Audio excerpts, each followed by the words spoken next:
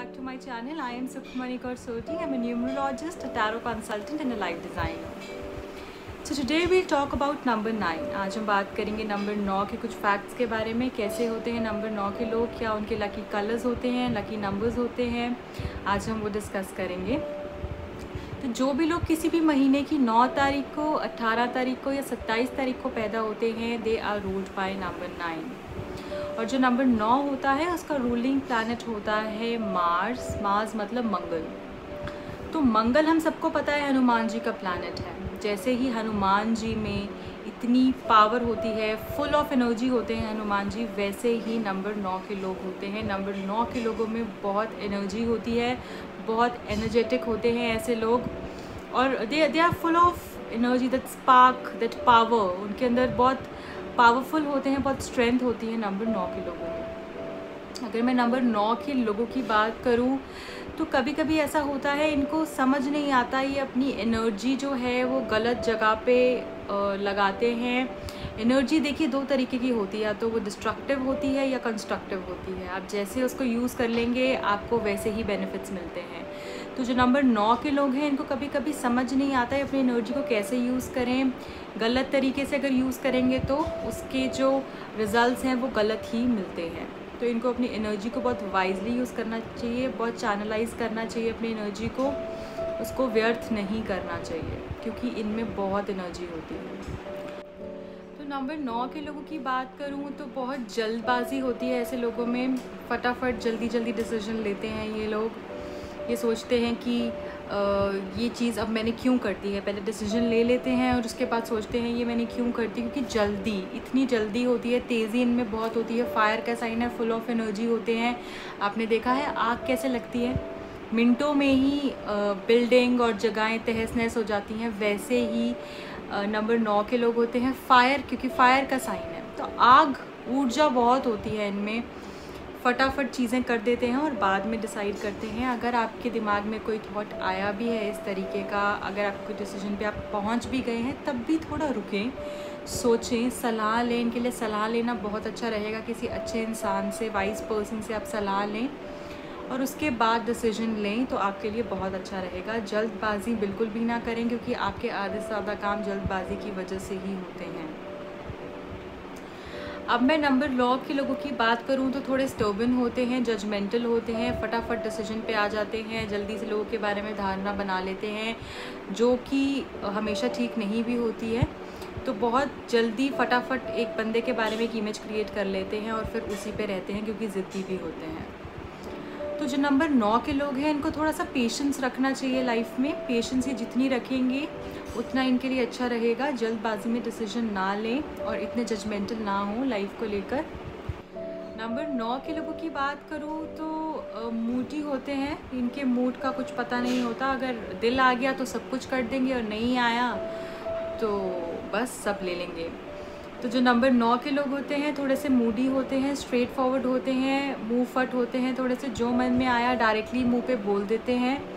कुछ फ़िल्टर नहीं होता इनकी ज़ुबान में। जो भी इनको लगता है किसी के बारे में, वो डायरेक्टली बोल देते हैं, सोचते नहीं हैं कि उस इंसान को कैसा लग सकता है। इस वजह से इनके थोड़े दुश्मन ज़्यादा होते हैं। जो नंबर नौ के लोग होते हैं, इनकी लाइफ में एक्सीडेंट्स भी होते हैं, इसलिए इनको ये बहुत ध्यान रखना चाहिए कि गाड़ी चला रहे हैं, कोई भी तरीके का अगर ये व्हीकल यूज़ करते हैं तो उसको स्लो चलाएँ, क्योंकि तेज़ी इनके अंदर हर एक चीज़ में, इनकी नेचर में ही है। तो बहुत जल्दी आप देखेंगे, अगर ये ड्राइव भी कर रहे हैं, बहुत स्पीड रहती है इनकी हर एक चीज़ में, चाहे वो डिसीज़न मेकिंग है, चाहे वो लाइफ का कोई स्टेप है, चाहे वो आपका ड्राइव कर रहे हैं कुछ भी कर रहे हैं, बहुत फटाफट जल्दी जल्दी सब्र नहीं होता पेशेंस नहीं होती नंबर नौ के लोगों में। तो इनको थोड़ा सा इस चीज़ का ध्यान रखना चाहिए कि गाड़ी, कोई भी व्हीकल जो भी चला रहे हैं, वो स्लो चलाएँ, तेज़ी ना बढ़तें ऐसे लोग जो होते हैं, थोड़े इकोविस्टिक होते हैं। अगर एक ईगो पे कोई बात आ जाती है, हर चीज़ अपनी ईगो पे ले लेते हैं, जिसकी वजह से इनके माइंड में फिर वो इमेज क्रिएट कर लेते हैं और इनकी आपस में प्रॉब्लम शुरू हो जाती है रिलेशंस के अंदर तो थोड़ा सा ये चीज़ का ध्यान रखें, अपनी ईगो पे हर चीज़ ना लें। थोड़ा सा सामने वाले को भी समझे, हो सकता है उसने आपको उस नज़र से देख के ना बोला हो। तो इतना जजमेंटल नहीं होना चाहिए। थोड़ा सा पेशेंस ज़रूर रखना चाहिए नंबर नौ के लोगों को। अगर मैं इनकी बात करूँ तो गुस्सा इनको बहुत जल्दी आ जाता है नंबर नौ के लोगों को। फटाफट गुस्से में आ जाते हैं, क्योंकि आग एक इनकी रहती है इनके अंदर तो फटाफट जल्दी से गुस्से में आ जाते हैं, दिल पे बातें ले लेते हैं। नंबर नौ के लोग की बात करूँ वॉरियर्स होते हैं, जैसे मैंने आपको बताया। जंग के लिए हमेशा तैयार होते हैं, कुछ भी बात होती है, लड़ाई के लिए ये हमेशा एवर रेडी होते हैं। दे आर बॉर्न फाइटर्स तो वैसे तो देखा जाए, बहुत अच्छा नंबर है, बहुत सुंदर नंबर है नंबर नौ बट इनको ये देखना चाहिए कि अपनी एनर्जी किस तरीके से चैनलाइज कर रहे हैं, अगर गलत तरीके से कर रहे हैं और हार्ड वर्क नहीं कर रहे तो इनको लाइफ में बहुत मुश्किल से चीज़ें मिलती हैं। और अगर ये अपनी एनर्जी को बहुत अच्छे से चैनलाइज कर रहे हैं वर्क हार्ड कर रहे हैं तो इनको लाइफ में सब कुछ ये अचीव कर लेते हैं, क्योंकि बहुत स्ट्रॉन्ग नंबर होता है नंबर नंबर नौ के लोगों की बात करूँ तो इनकी एक ये पॉजिटिव पॉइंट होता है कि ये ह्यूमैनिटेरियन बहुत होते हैं। ह्यूमैनिटी इनके अंदर होती है। सबको साथ लेके चलते हैं, मानवता को जानते हैं, सबके साथ बहुत हेल्पिंग रहते हैं नंबर नौ के लोग। तो ह्यूमैनिटी इनके अंदर रहती है। नंबर नौ के लोगों की बात करूँ तो नंबर नौ के लोग की लाइफ में डिसिप्लिन बहुत ज़रूरी है। अगर अक्षय कुमार की बात करूँ he is also rule by number nine हम सबको पता है वो कितना डिसिप्लिन डिसिप्लिन लाइफ जीते हैं। प्रियंका चोपड़ा कितनी डिसिप्लिन लाइफ जीती हैं। She is also rule by number nine और Salman Khan is also rule by number nine number नौ की हेल्थ की बात करूँ तो उनको अपने हार्ट का ध्यान रखना चाहिए, क्योंकि इनकी लाइफ में बहुत जल्दी जल्दी ये सब कुछ करते हैं। फटाफट, जल्दी, तेज़ी तो थोड़ा सा हार्ट का ध्यान रखें अपना। पेशेंस लेकर आएँ इससे, इसके लिए आप ये कर सकते हैं पेशेंस लेकर आएँ अपनी लाइफ में।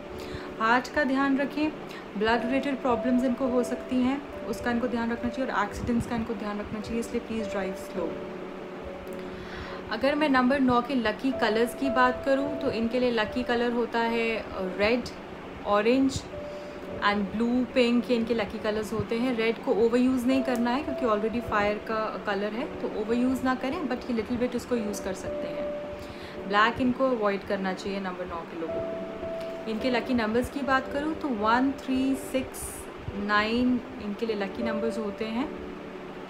इनके अंदर थोड़ी सी जेलिसी की भी प्रॉब्लम होती है। नंबर नौ के जो लोग होते हैं, थोड़े से इनके अंदर वो चीज़, क्योंकि कॉम्पिटिटिव होते हैं बहुत ज़्यादा।